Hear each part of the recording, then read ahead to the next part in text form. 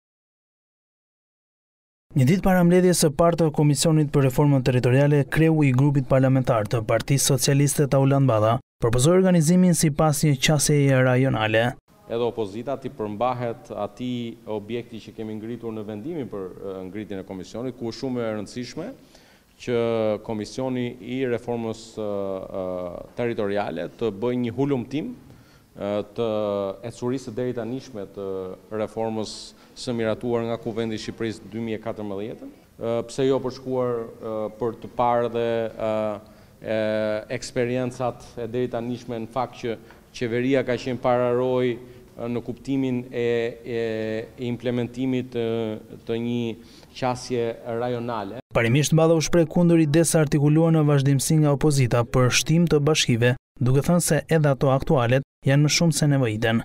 Bashki shumë të vogla e ngjitur me njëra tjetrën të cilat mbajnë dy administrata kot.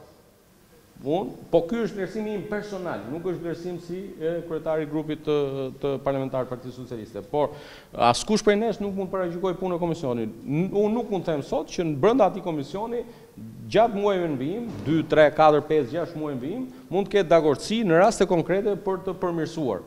Balla tha se Komisioni për Reformën Zgjedhore do të jetë vështirë të aplikohet për zgjedhjet e ardhshme vendore, që sipas një përllogaritjeje, ai thotë se mund të mbahen në periudhën nga pesëmbëdhjetë prill deri në pesëmbëdhjetë maj dy mijë e njëzet e tre. Ka një rekomandim në fakt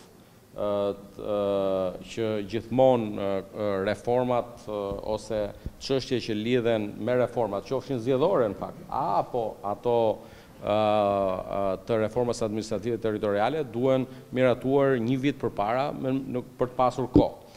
Kështu që besoj që në rastin e Reformës Administrative Territoriale Komisioni të marri kohën e duhur, nëse do duhet në korrik përpara mbylljes së këtij sesioni parlamentar për t'i zgjatur mandatin dhe besoj që do të jetë e nevojshme një zgjatje mandatit. Kërkesës së depozituar për herë të tretë nga PD për ngritjen e Komisionit Hetimor për Investimet Strategjike, Balla iu përgjigj se Shqipëria ka nevojë për sa më shumë investime të tilla.